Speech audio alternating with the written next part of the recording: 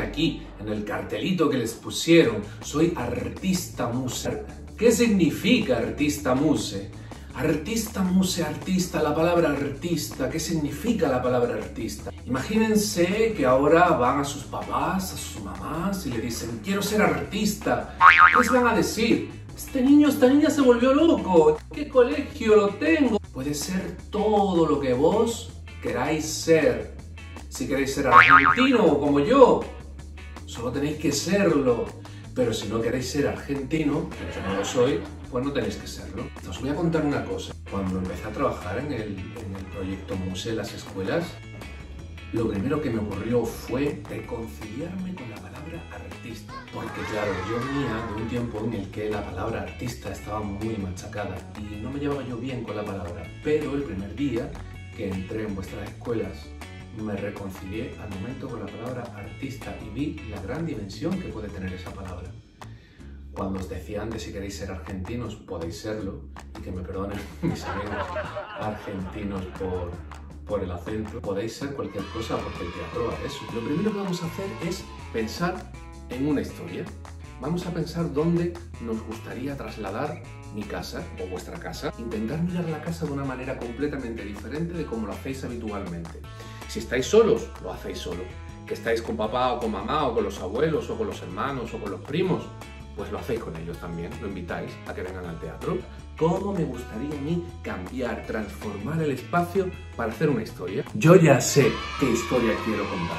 Voy a transformar mi casa. Yo espero que vosotros hagáis lo mismo. Cuando lo tengáis, Jorge, que lo tenemos. Y empezamos.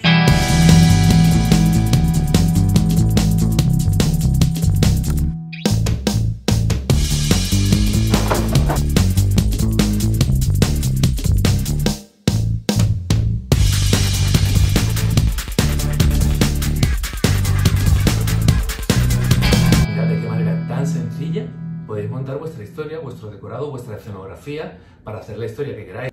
Una historia de piratas. Me gustaría saber cuál os habéis inventado vosotros. La mía, voy en una barca en mitad del mar. Mirad mi mar. Lo he hecho con sábanas, con platos. Mi barca le he dado la vuelta a la mesa. He utilizado una toalla con la que entreno. Bueno, el teatro va de eso. Tienes que coger todos los recursos que tengas a tu alcance y utilizarlos. Pero no tiene por qué ser piratas. A lo mejor sois niños decididos cruzar el mar en una barcaza porque vais buscando algo. O a lo mejor sois niños que estabais hartos de lo que pasa en el mundo de los adultos y habéis dicho vamos a ir a buscar una solución. Mirad, con mis sillas me he hecho una roca. Mi historia se puede transformar en que mi barca de repente ha encallado y que voy a ir a una isla, una isla misteriosa, o no tiene por qué ser misteriosa, a lo mejor es una isla muy divertida y no tiene nada de misterio.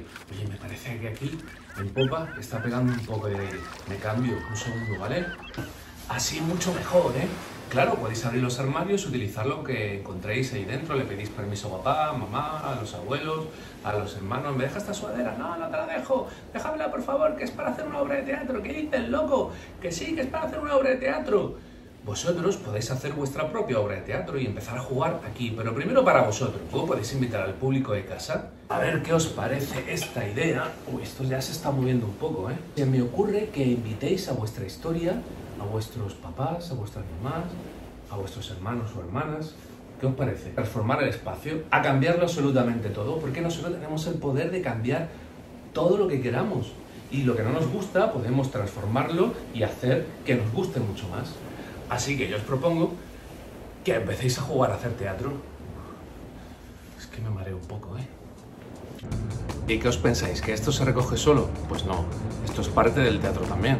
Recoger, organizar gente en el teatro que trabaja haciendo este tipo de cosas, montando las luces, montando las escenografías, es decir, el decorado, montando cada vez que hay una función, desmontando cada vez que finaliza la función, con lo cual, si no queréis que nadie se enfade en casa y que el rato divertido continúe, será mejor, es un consejo mío, ¿vale?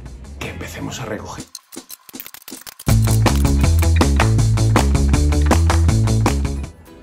Bueno, chavales, pues ya está todo recogido. Si os han ayudado, mejor. Trabajo en equipo. Las mejores cosas que tiene el teatro. El trabajo en equipo. Espero veros en el próximo vídeo y si es en compañía de vuestras familias, mucho mejor. Un besazo, gente.